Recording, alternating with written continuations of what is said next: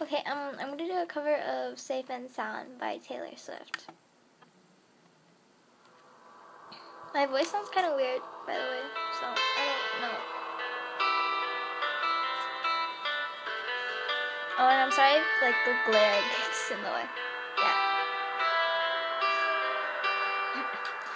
I remember tears running down your face when I said I never let you go.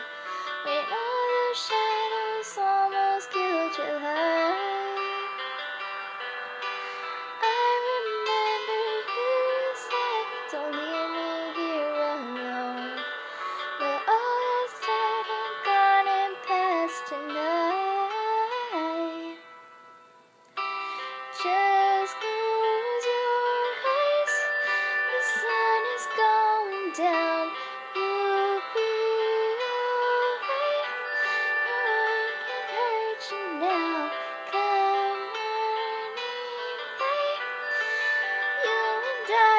morning